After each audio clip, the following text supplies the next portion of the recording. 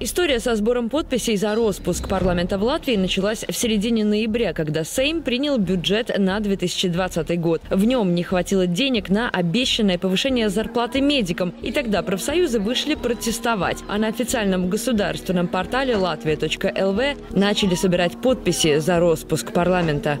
Я лично голосовал за те партии в итоге, и получается такая очень интересная ситуация. Ты смотришь их предвыборную кампанию, что они как бы тебе обещают. Ты за это голосуешь, в итоге происходит голосование реальное, и они все голосуют против. Так э, это самый, что ни есть настоящий обман. Карл – один из тех 40 тысяч латвийцев, которые уже поддержали петицию в надежде на обновление Сейма. Как только под документом наберется 154 тысячи подписей, в стране объявят референдум, и парламент действительно может уйти в отставку.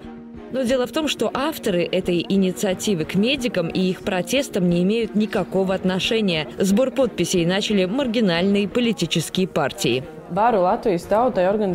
Это организация «Власть народу Латвии». О ней мало кто слышал. Журналисты пытались найти их офис, но оказалось, что кроме почтового ящика на каком-то полигоне у них ничего нет. Один из лидеров этой партии известен в Фейсбуке по кличке «Парти Бомж». Он прославился тем, что ходит на всевозможные пресс-конференции и презентации, чтобы бесплатно поесть.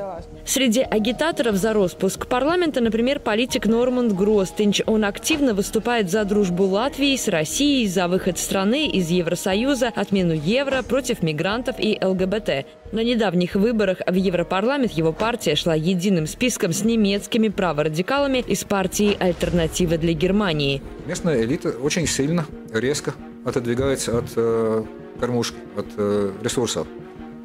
И, значит, она просчиталась. То есть те, кто вот на этих арабских условиях вступали в Европейский Союз, угу. вступали в НАТО, значит, они просчитались.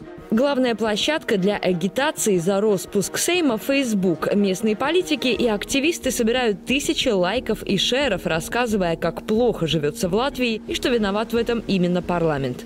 У правящей элиты сейчас очень большой стресс.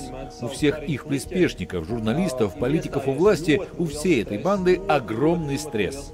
Латвийские журналисты, рассказывая о сборе подписей, подчеркивают, что авторы идеи – популисты, пытающиеся сколотить политический капитал. Многие известные в стране люди, в том числе и президенты, выступают против распуска Сейма. И напоминают, что референдумы в внеочередные выборы будут стоить казне больше трех миллионов евро. Однако профсоюзы медиков, под прикрытием которых начался сбор подписей, заявили, что инициативу поддерживают, а значит шансы собрать нужные 154 тысячи голосов за отставку парламента увеличиваются в несколько раз.